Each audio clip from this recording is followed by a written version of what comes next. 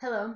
Um, we are so excited to share our plans with you. Um, we'd like to first thank Exhibit Columbus team uh, and Mimi and Iker for inviting us and for all of their support in the process. And thank you all for joining us today. I'm Ersela Kripa. And I'm Stephen Mueller. And we're faculty at Texas Tech College of Architecture in El Paso, and we co direct uh, POST, uh, which is a research center at the Texas Tech um, College of Architecture.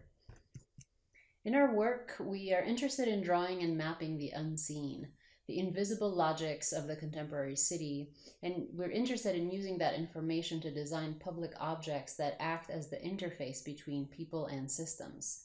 In Columbus, we're particularly interested in exploring the legacy of the airspace that shapes the region and the city. Columbus is uniquely positioned in, in regional airspace. Indiana's airspace is defined by a series of major um, air traffic corridors radiating from major metropolitan centers. In this mapping of commercial and military flight path uh, intensities in Indiana, you can see Columbus bounded by their convergence, located within an island of relatively unoccupied airspace. The project considers the overlapping jurisdictional boundaries of military and civilian airspace in and around Columbus a shared atmospheric territory that shapes and connects cities in the region and beyond. Columbus is unique for its position between two military training corridors as well, where low altitude training exercises arrive and depart from military airfields to the west and to the southeast. The military airspace surrounding Camp Atterbury to the west of Columbus and the Muscatatuck Urban Training Center to the southeast edge Columbus and intersect within, with civilian airspace nearby. And so the city of Columbus has long been shaped by these aerial activities and adjacent military sites. Gliders and cargo planes were a common sight in the skies around the city. A former Air Force base serves as the municipal airport facility. Flight patterns into and out of nearby airfields have impacted Columbus's architectural heritage by affecting maximum building height allowances. And uh, this image is courtesy of Enrique Ramirez. The project seeks to engage the site's connections to the militarized airspace around it. At the nearby Muscatatuck Urban Training Center complex, shown here in the second image, a repurposed urban area is now used for airborne military training exercises. It's here that the Indiana National Guard and other agencies practice disaster response scenarios, civilian rescue, and urban military operations. Here, trainees are taught that obtaining real-time aerial images and video feeds of an urban environment is essential to a wide array of urban operations. They occupy the city differently through augmented vision and unmanned vehicles. Here we've drawn the various built forms which participate in aerial detection, knowingly and unknowingly. On the top left, you can see Columbus with nearby municipal airport, and on the right, the Indiana Air Range Complex centers on the Muscatatuck training environment, including areas for manned and unmanned aerial training. Downtown Columbus is shaped in part by the glide path restrictions of the nearby airport on the bottom left, and in the simulated training center, several landing zones and multi-story buildings provide training environments where new ways of visioning the city are tested and refined. At the same time, recent developments in infrared imaging and other remote sensing technologies have transformed the capacity of urban and military planners to image and to imagine the city from the aerial perspective. Moving far beyond the wavelengths of the visible spectrum captured in aerial and satellite photography, these developments have transformed the city into a multispectral environment where previously unseen phenomena are rendered visible. With applications across agriculture, military planning, and urban planning, infrared imagery gathered from drones and satellites can detect subperceptual thermal signatures of bodies and landscapes. Handheld technologies are rapidly becoming accessible, affordable, portable, and easy to use, changing the way in which we and others can see the city. The city is no longer only a collection of visible artifacts, but a collection of signatures, identifiable patterns of temperature, movement, and radiation. Because these new capabilities are so widespread, security companies and military contractors like Saab are developing signature management strategies using advanced textiles that block thermal, infrared, and vision detection.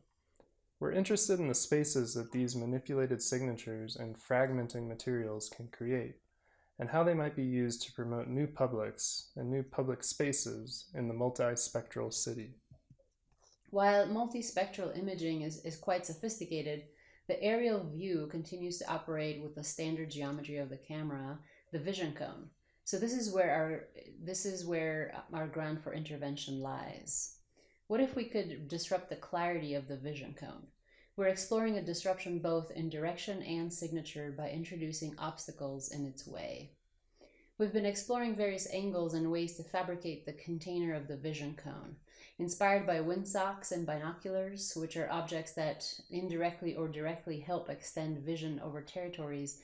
The project references these ubiquitous pieces of infrastructure that are scattered around us.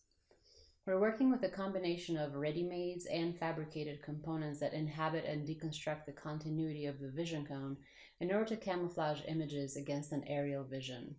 Using infrared reflective material and perforated plates, a coherent thermal image of a person, let's say, becomes fragmented and camouflaged, altering the otherwise recognizable signature into a collection of patterns.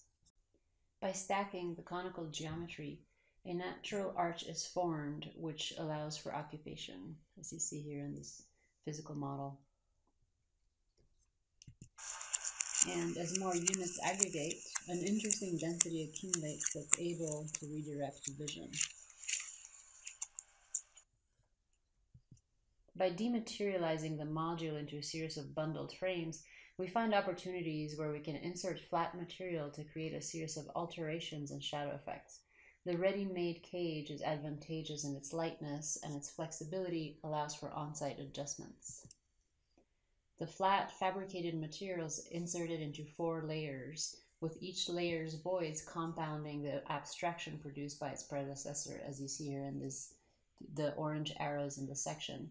Depending on the angle of vision and the visitor's location, each layer may be able to produce varying degrees of abstraction. These are the steps in the computation that we've been calculating in order to better understand the layering system and the digital fabrication process. Simplifying the smooth cone into a hexagonal form, we can actually calculate variations in packing combinations, nesting these volumes uh, to create the three-dimensional construction, and we can plan for installation tolerances. The arched form is then layered and computed as a collection of flat circular sheet material that blocks vision uniformly. Here, we are able to predict overlaps and redundancies in anticipation of fabrication. The third step deconstructs the circular sheets by subtracting material. Building on the logics of multispectral camouflage, the cones suspend an array of infrared reflective material, fragmenting the legibility of thermal activity from the aerial perspective while activating the site with multispectral shadow. We're doing this by calculating a gradient of apertures along the surface of the circular sheets, aiding in the construction of an additional image on the ground through shadow that mirrors the pavilion, further conflating the distinction between material and immaterial signatures. Our site is the side at the Crump Theater. Part of our thinking has been to understand the site by reinterpreting elements like the canopy and the portal windows, in order to make our own street wall. Depending on how the pavilion is oriented on site, whether with its main canopy directed towards the aerial view or towards the street, it becomes a kind of backdrop for urban gatherings. Here is an elevation seen from the street on the left side of this image, and from within the site on the right. The modules of the pavilion orient to multiple imagined aerial vantage points while directing cones of vision into and out of the pavilion at street level. We're currently exploring ways in which spectral engages, um, spectral meaning the pavilion, um, engages with the site.